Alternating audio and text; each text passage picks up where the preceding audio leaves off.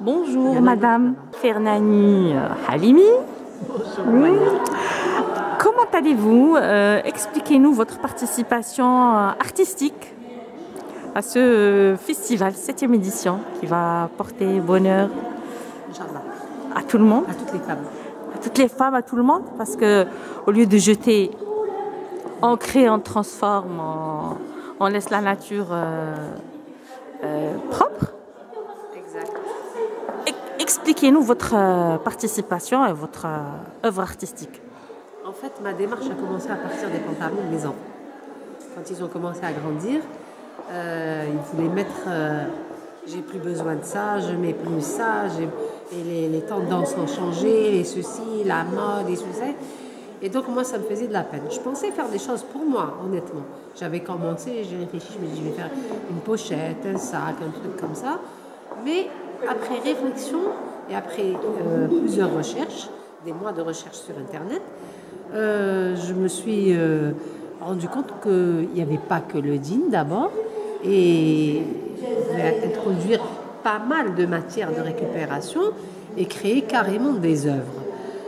C'est-à-dire que là, j'ai donc combiné les dînes des enfants, le coton, euh, des petits bouts de coton qui restaient à droite, à gauche, des galons.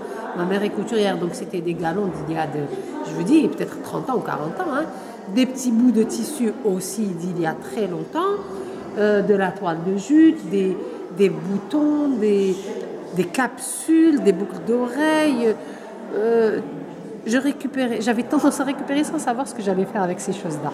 Et finalement, quand j'ai entendu parler du, du, la septième édition du Festival de la création féminine, ça a fait titre dans ma tête.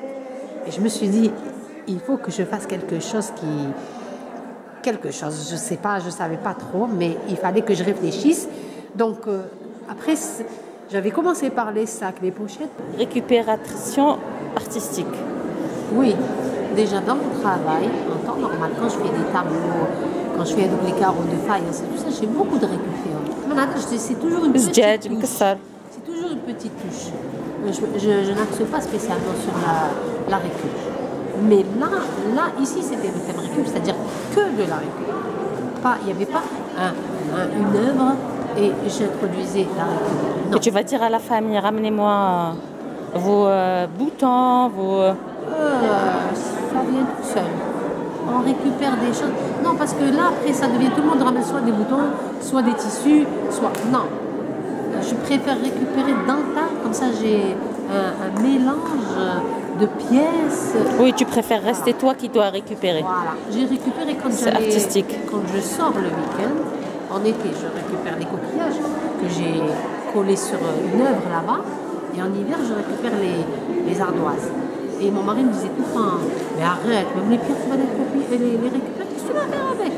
Je disais, je sais pas, je sais pas, laisse-moi tranquille. Et je les entassais. En plus, j'ai choisi c'est bien plate parce que déjà dans ma tête, c'était faire une œuvre.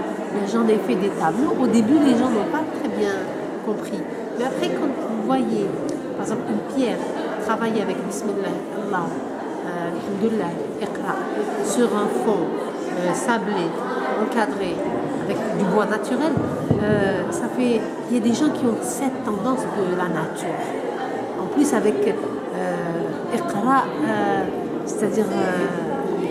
Surah, déjà, elle, indique, veut dire beaucoup de choses. Donc voilà, c'était ça. C'est pas tout le monde qui a cette tendance et qui comprend tout ça, mais il y en a quand même. Très bien. Bon, écoute, alors je reste sur ça. Iqra, c'est-à-dire recycle, iqra. Je te